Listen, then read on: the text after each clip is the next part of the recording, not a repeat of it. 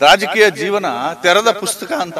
ಆ ತೆರೆದ ಪುಸ್ತಕದ ಒಳಗಡೆ ಡಾಟ್ಗಳಿದೆ, ಕಪ್ಪು ಚುಕ್ಕೆಗಳಿದೆ ಅಂತ ತೋರಿಸ್ತಾ ಇದ್ದೀವಿ. ಕಾಂಗ್ರೆಸ್ ವಿರೋಧಿ ಮನಸ್ಥಿತಿ ಸೃಷ್ಟಿಯಾಗುತ್ತೆ.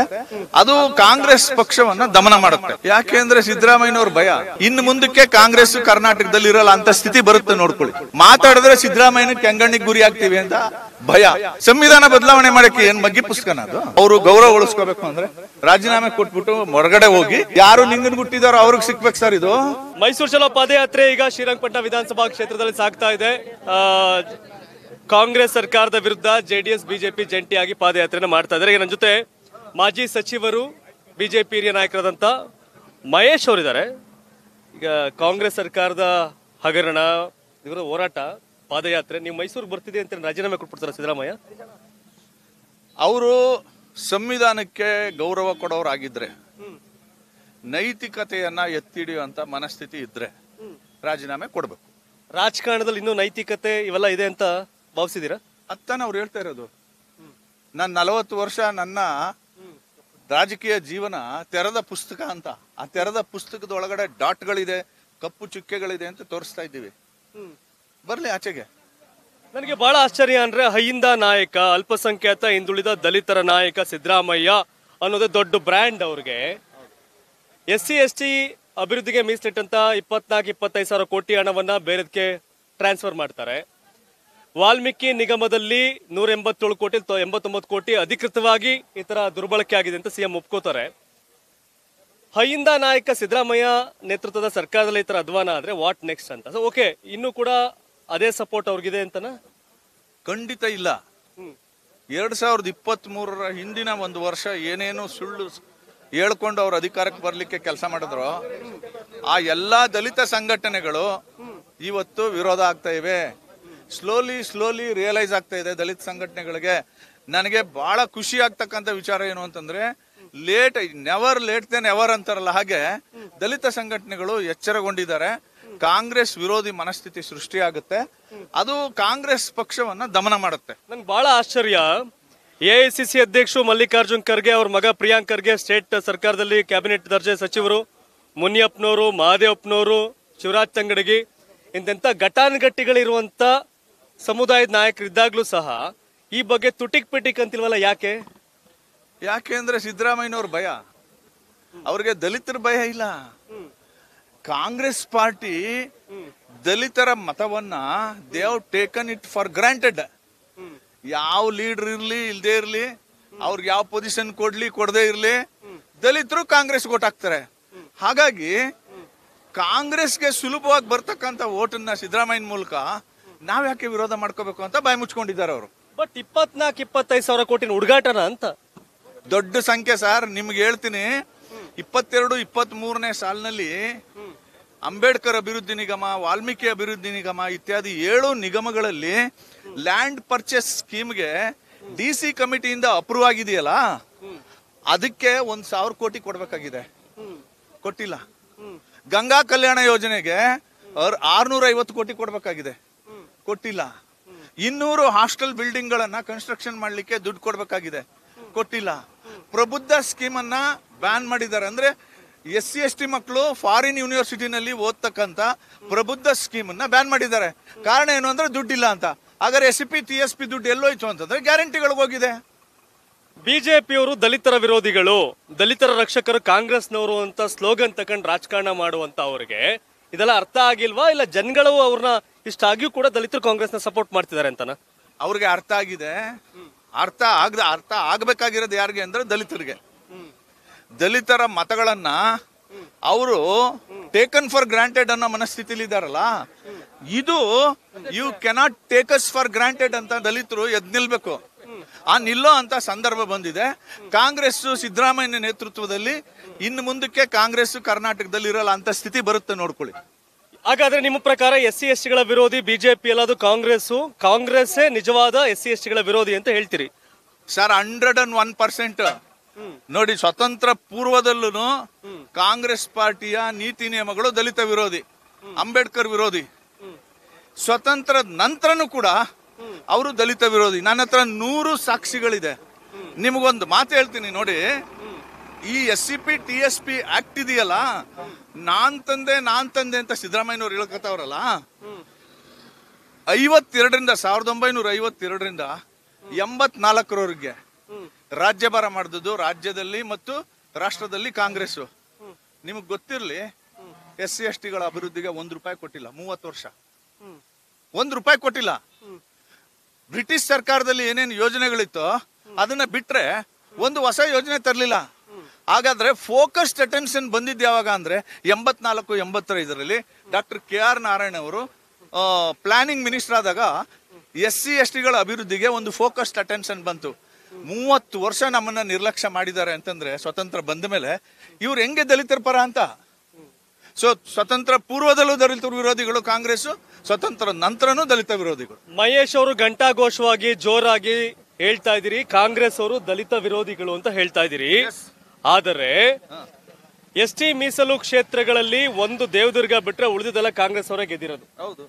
ಇನ್ ಬಹುತೇಕ ಎಸ್ ಸಿ ಮೀಸಲು ಕ್ಷೇತ್ರಗಳಲ್ಲಿ ನಿಮ್ ಕ್ಷೇತ್ರ ಸೇರ್ಕೊಂಡಂಗೂ ಕೂಡ ಬಹುತೇಕ ಕಾಂಗ್ರೆಸ್ ಅವ್ರು ಗೆದ್ದವ್ರೆ. ಸಕಲೇಶ್ಪುರ ಸಿಮೆಂಟ್ ಮಂಜಣ್ಣ ಗೆದ್ದವ್ರು ಇಲ್ಲಿ ಅಂದ್ರೆ ಹೆಚ್ಚಿನ ಸಂಖ್ಯೆ ಎಸ್ ಸಿ ಎಸ್ ಟಿ ಮೀಸಲು ಕ್ಷೇತ್ರಗಳಲ್ಲಿ ಕಾಂಗ್ರೆಸ್ ಗೆಲುವನ್ನು ಸಾಧಿಸಿರುವ ಸಂದರ್ಭದಲ್ಲಿ ಯಾಕೆ ಅವ್ರು ಯಾಕೆ ಬಾಯಿ ಬಿಡ್ತಾ ಇಲ್ಲ ಅಂತ ನಾನು ಕೇಳೋದು. ಅವರು ಯಾಕೆ ಬಾಯ್ ಬಿಡ್ತಾ ಇಲ್ಲ ಅಂತಂದ್ರೆ ಬಿಜೆಪಿ ಗೆಲ್ಬೇಕಾದ ಕ್ಷೇತ್ರಗಳಲ್ಲಿ ಕಾಂಗ್ರೆಸ್ ಗೆದ್ಕೊಂಡಿದೆಯಲ್ಲ, ಅದನ್ನ ಉಳಿಸ್ಕೊಳ್ಳೋಣ ಅಂತ ಪ್ಲಾನು. ಮಾತಾಡಿದ್ರೆ ಸಿದ್ದರಾಮಯ್ಯನ ಕೆಂಗಣ್ಣಿಗೆ ಗುರಿ ಆಗ್ತೀವಿ ಅಂತ ಭಯ. ಆ ಭಯದಿಂದ ಮಾತಾಡ್ತಾ ಇಲ್ಲ. ನೀವು ಒಂದು ತಿಳ್ಕೊಳ್ಳಿ, ಎಲ್ಲಾ ಮೀಸಲು ಕ್ಷೇತ್ರಗಳಲ್ಲಿ ಮೆಜಾರಿಟಿ ಕಾಂಗ್ರೆಸ್ ಯಾಕೆ ಗೆತ್ತಿದೆ ಅಂತಂದ್ರೆ ಸುಳ್ಳು ನೆರೆಟಿವ್ ತಪ್ಪು ಅಪಪ್ರಚಾರಗಳು. ಇದನ್ನ ಮಾಡಿ ಸುಳ್ಳು ನರೇಟಿವ್ ಏನ್ ಮಾಡಿದ್ದಾರೆ? ಬಿಜೆಪಿ ಬಂದ್ರೆ ಸಂವಿಧಾನ ಬದಲಾವಣೆ ಮಾಡ್ಬಿಡ್ತಾರೆ ಅಂತ ಹೇಳ್ತಾರಲ್ಲ. ಸಂವಿಧಾನ ಬದಲಾವಣೆ ಮಾಡಕ್ಕೆ ಏನ್ ಮಗ್ಗಿ ಪುಸ್ತಕನ ಅದು? Text book sir? Narendra Modi ಅವರು ಬಹಿರಂಗವಾಗಿ ಹೇಳಿದ್ದಾರೆ.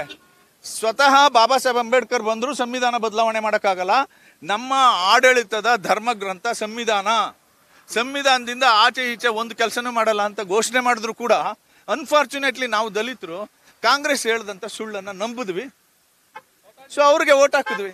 ಹಾಗಾದ್ರೆ ಈಗ ಕರ್ನಾಟಕ ರಾಜ್ಯದ ಎಸ್ ಸಿ ಎಸ್ ಟಿ ಜನಾಂಗಕ್ಕೆ ಎಲ್ಲ ಪ್ರತಿಯೊಬ್ಬರಿಗೂ ಕೂಡ ಕಾಂಗ್ರೆಸ್ ಸರ್ಕಾರ ನೀವೇನು ಆರೋಪ ಮಾಡ್ತೀರಿ? ಇದೆಲ್ಲ ಅರ್ಥ ಆಗಿದೆ ಈಗ ಹಾಗಾದ್ರೆ. ಡೆಫಿನೆಟ್ ಆಗಿ ಶುರುವಾಗಿದೆ.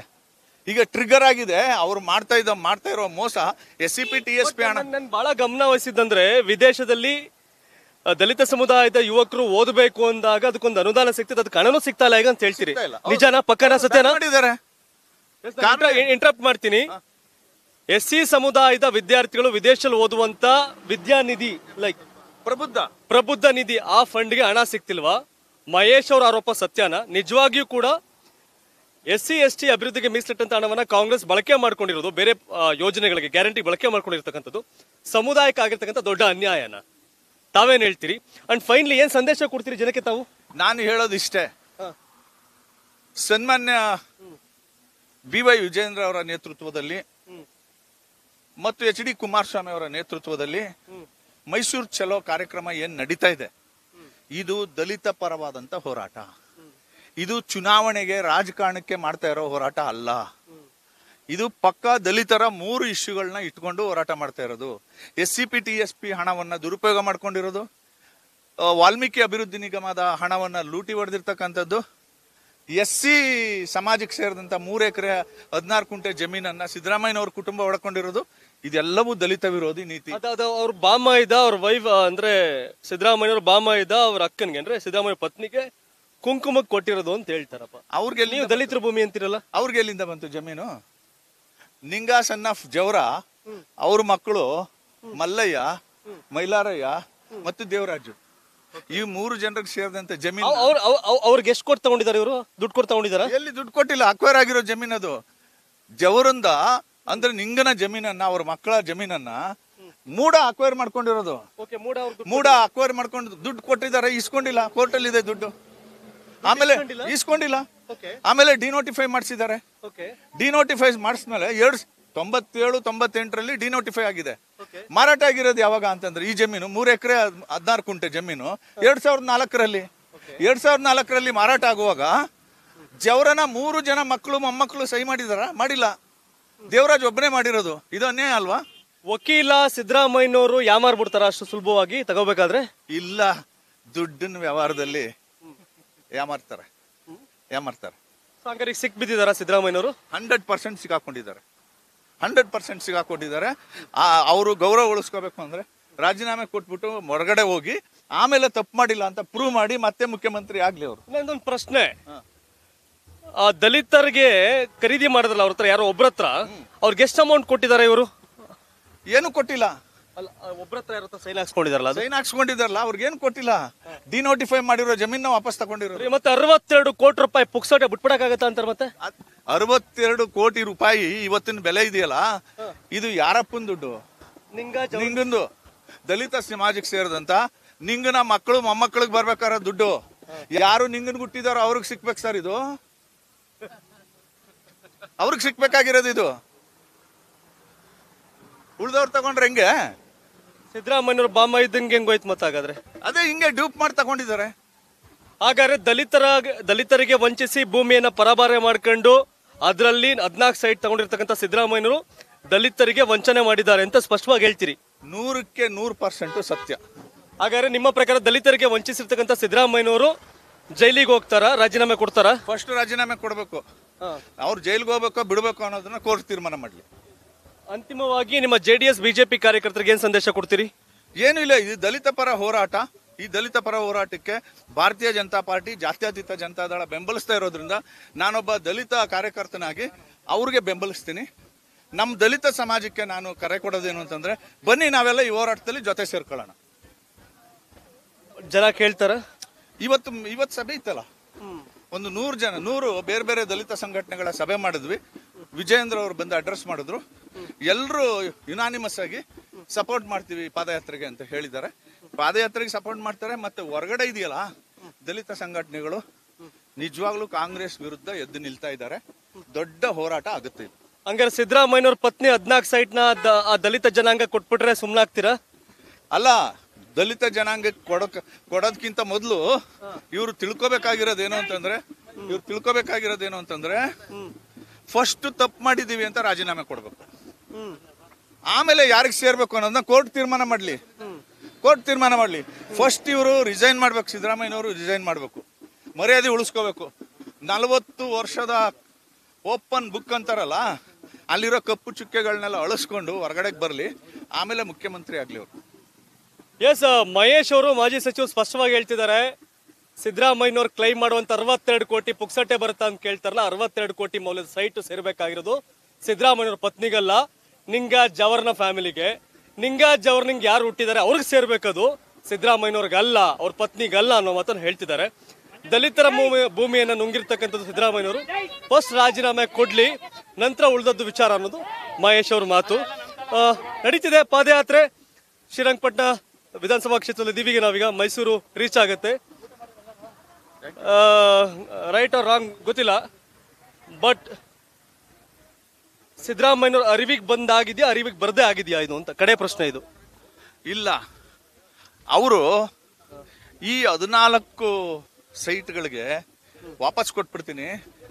ಅದರ ಬೆಲೆ ಅರವತ್ತೆರಡು ಕೋಟಿ ಮೂರು ಎಕರೆ ಹದಿನಾರು ಕುಂಟೆ ಜಮೀನು ಒನ್ ಇಷ್ಟು ತ್ರೀ ರೇಟ್ ಕೊಡಬೇಕು ಅಕ್ವೈರ್ ಮಾಡ್ಕೊಂಡಿರೋದ್ರಿಂದ. ಅರವತ್ತೆರಡು ಕೋಟಿ ಅದರ ಮೌಲ್ಯ ಅಂತ ಓಪನ್ ಆಗಿ ಇವ್ರು ಹೇಳ್ಬಿಟ್ಟಿದಾರಲ್ಲ ಅದ್ರ ಅರ್ಥ ಏನು? ಗೊತ್ತು ಅವ್ರಿಗೆ ಅಂತ? ಗೊತ್ತು ಅವ್ರಿಗೆ ಗೊತ್ತು. ದಲಿತರ ಮೂವಿಯನ್ನ ಅಕ್ರಮವಾಗಿ ಪರವಾರ ಮಾಡಿಕೊಂಡು ಅದು ಅರವತ್ತೆರಡು ಕೋಟಿ ಅಂತ ಹೇಳ್ಕೊಳ್ತಕ್ಕಂಥ ಸಿದ್ದರಾಮಯ್ಯರು ತಪ್ಪು ಮಾಡಿದ್ದಾರೆ. ದಲಿತರ ಭೂಮಿ ದಲಿತರಿಗೆ ಸಿಗಬೇಕು. ಆ ಪರಿಹಾರ ಕೂಡ ಅವ್ರಿಗೆ ಸಿಗಬೇಕು. ಅದಕ್ಕೂ ಮೊದಲೇ ರಾಜೀನಾಮೆ ಕೊಡಬೇಕು ಅನ್ನೋದು ಮಹೇಶ್ ಅವ್ರ ಒತ್ತಾಯ. ತಾವೇನ್ ಹೇಳ್ತೀರಿ? ಕಾಮೆಂಟ್ ಮಾಡಿ ತಿಳಿಸಿ. ಧನ್ಯವಾದ. ಇದು ಕರ್ನಾಟಕ ಟಿವಿ, ಕನ್ನಡಿಗರ ಧ್ವನಿ.